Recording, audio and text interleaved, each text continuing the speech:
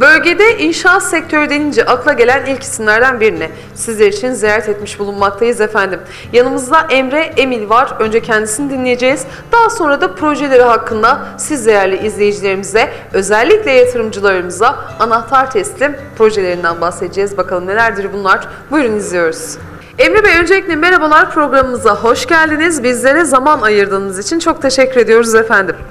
Ben teşekkür ederim geldiğiniz için. Hoş bulduk o zaman. Hoş geldiniz tekrardan. Hoş bulduk. Şimdi sektörle ilgili bilgileri alacağız ama öncelikle sizleri tanıyalım efendim. Ne zaman e, başladı maceranız? 2015 yılında e, inşaat mühendisliği bölümünden mezun olduktan sonra 5 yıldır e, Sapanca'da bir firmada tecrübe edindim. E, müstakil konutlar üzerine e, şantiye şefliği yapma imkanım oldu. Birçok anahtar teslim, proje teslim ettim ve sonrasında bu yıl itibariyle e, artık kendi firmam adına e, çalışmaya başlamış oldum. Çok güzel. Peki gelelim hali hazırda geçmişten bugüne kadar projelerde ne gibi değişiklikler var?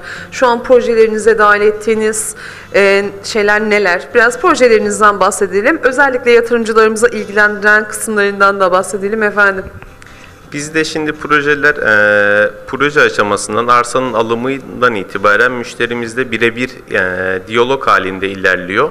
E, bunun özel sebebi e, müşterimizle birebir çalışıyor olmamız yani bütün hayallerini, isteklerini projemize yansıtıp sonrasında uygulamada yine onların istekleri doğrultusunda hareket etmek.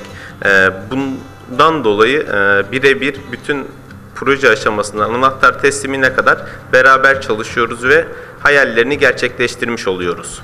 Peki öncelikle şunu sormak istiyorum. Şimdi Sakarya tabii ki çok güzel illerimizden bir tanesi ama Sapanca'nın farklı bir özelliği var. Buraya yatırım yapıyorlar genelde doğru mudur? Evet, Sapanca'da turistik bakımdan ve müstakil konut bakımından ön planda olan bir e, Sakarya'nın en ön plandaki bölgesi.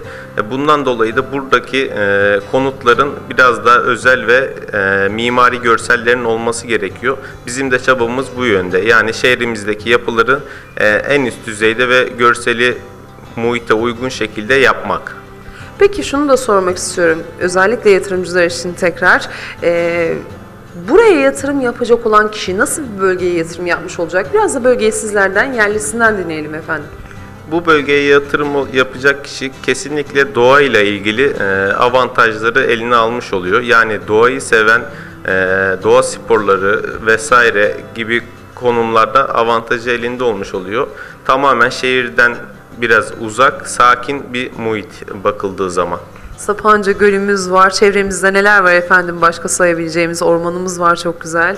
Yazı ayrı, kışı ayrı. Evet, e, göl ve su sporları, e, dağlardaki yine dağda işte e, offroad tarzı yürüyüş e, sporları, trekkingler, e, bunun sonrasında kayak e, avantajımız var. Özellikle bu bölge lokasyon olarak doğayı, doğayı tam anlamıyla gerçekten seven, hatta doğaya ve doğa sporlarına gönül vermiş olan herkesin gözdesi. Evet, kesinlikle yani bütün olanaklar mevcut çünkü e, kayağından göl su sporlarına, e, yürüyüşlerden e, offroad sporlarına kadar doğanın sağladığı bütün imkan Sapanca'da mevcut durumda.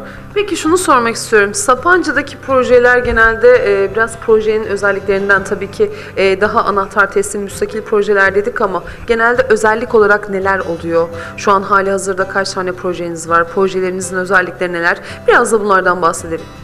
Bizde şu an e, hali hazırda devam eden 3 tane projemiz var. Tabi bu projelerde e, biz arsanın konumuna göre hareket ediyoruz. E, mesela göl manzaralı olan konumlarda işte daha büyük özel camlar, manzaraya hitap edebilecek şekilde binanın yapısını uygun olarak sağlıyoruz. Veya tamamen doğanın içinde olan şeylerde projelerimizde de aynı şekilde doğaya uygun, yeşilliği bozmayacak, görseli uyum sağlayacak şekilde tasarımlar yapıyoruz. Bu tamamen arsanın konumuna bağlı şekilde e, imalattan geçiyor. Ya burada da doğru tercihler yapılması gerekiyor. Ne mutlu sizlere diyoruz efendim. Peki son olarak e, şu ana kadar sizleri tercih etmiş olan müşterileriniz diyelim, aynı zamanda danışanlarınız ve anlat bakalım Türkiye izleyicilerine buradan eklemek istediğiniz neler var. Son olarak onları da alalım. Sapanca'da yaşamak güzel. Bunun için e, bir an önce yatırımcılara sesleniyorum. Arsalarını alıp e, bizim gibi firmalarda bu şekilde yatırım yapmalarını temenni ediyorum. Çok teşekkür ediyoruz. Başarı yolundaki hedefleriniz daim olsun diyoruz efendim. Teşekkür ederim. Özellikle şu an içerisinden geçtiğimiz hatta dünyaca da e, dahil olduğumuz bir sıkıntı pandemi sorunu efendim. Ki bu süreç içerisinde bu pandemi süreci içerisinde gerçekten doğanın kıymetini e, bir kez olsun daha anladık. İzole yaşamanın aslında bizlere ne kadar iyi geldiğini de bir kez daha anlamış olduk ama bunu kalıcı hale getirmek istiyorsak Sapanca'ya yatırım yapmanızı diliyoruz diyoruz ve yolculuğumuza Sakarya'dan kaldığımız yerden tüm hızıyla devam ediyoruz.